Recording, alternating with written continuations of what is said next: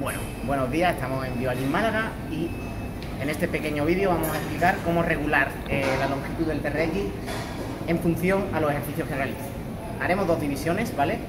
Una división en la que agarras con las manos, ¿vale? Eh, utilizas como agarre la parte de contacto con el TRX son las manos, ¿vale?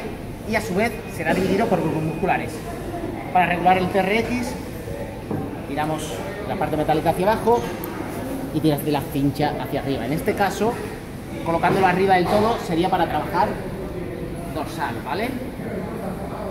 Ya digo, cogido de las manos, ¿vale? Si seguimos bajando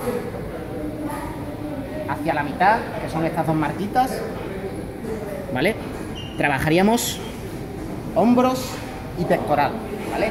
Y por último, esto ya sería para el anclaje de pies en el que metes los pies en el TRX en función a la altura del individuo, ¿vale? Te colocarías al lado y te debería quedar a media tibia, ¿vale? En mi caso eh, sería bastante bajo, ¿vale?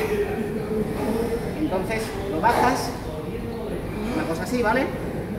Y con esto está explicado la regulación de la longitud del TRX en base a los grupos musculares y a eh, la parte en contacto con el TRX, ¿vale? Espero que os haya gustado y que os sirva bastante para vuestro entrenamiento, ¿vale?